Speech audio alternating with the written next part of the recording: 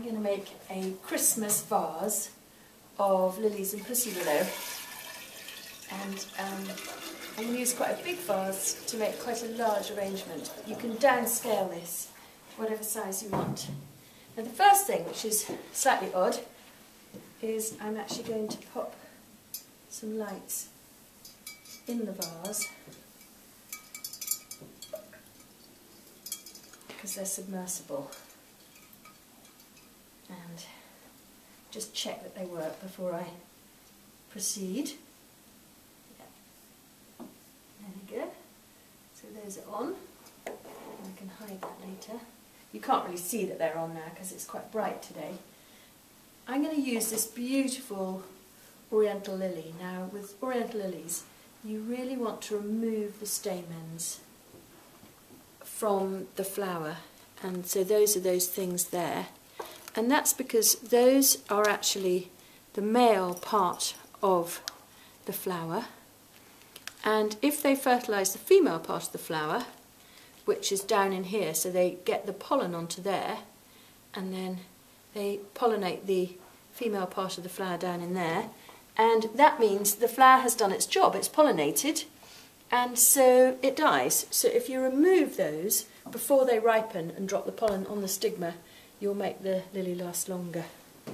I am a great believer these days in mixing real with fake. Now, by fake, um, these are actually not real, they are fake, but they look so good and they are just so brilliant because of course you won't get perfectly distributed acorns on a branch and these are all in fact individually wired onto the branch and I love them um, so they're like oak branches with their acorns um, and I've actually cut these down to the height that I want them. They originally come really very tall like that and I'm going to use a couple that size.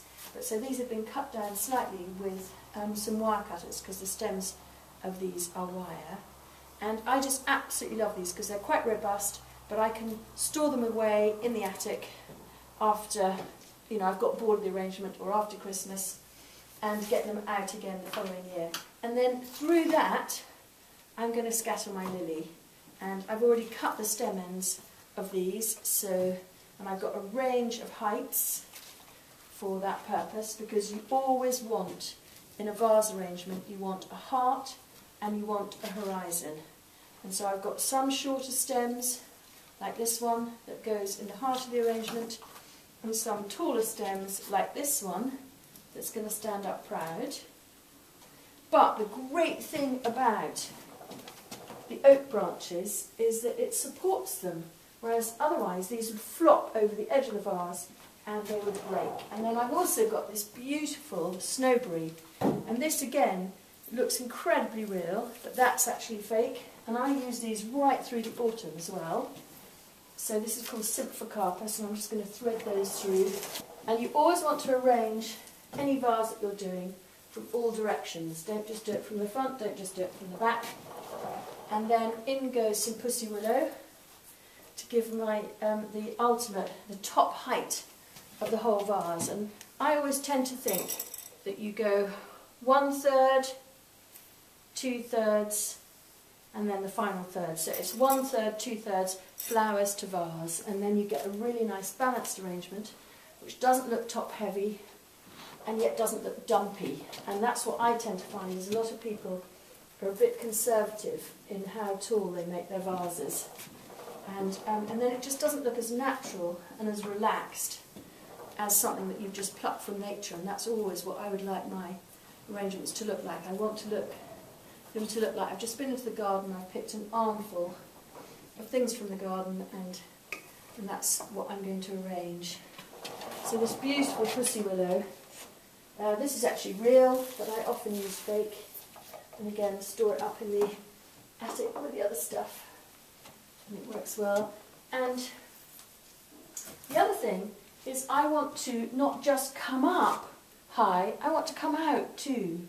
So I want it to feel really relaxed and sort of free-ranging and not too wild, but not too tidy either.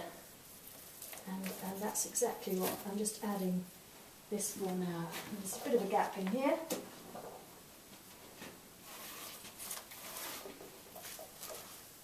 Another final stem over there.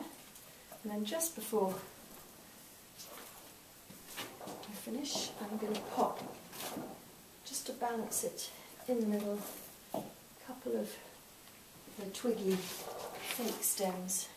And if I'd put these in from the beginning, they would have completely unbalanced the arrangement. But, but now I've got my heart properly constructed, I can then add my horizon, and those work really well. And then, just to make it more Christmassy, I'm going to pop these candle holders onto the pussy willow.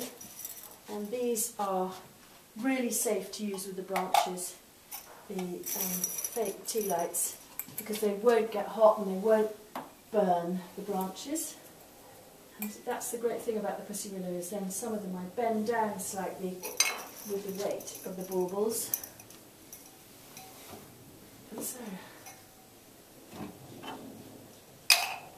and then also I can decorate, picking up on the idea of the pussy willow I can decorate the, in fact, wide stemmed of the acorn with however many Christmas decorations I want.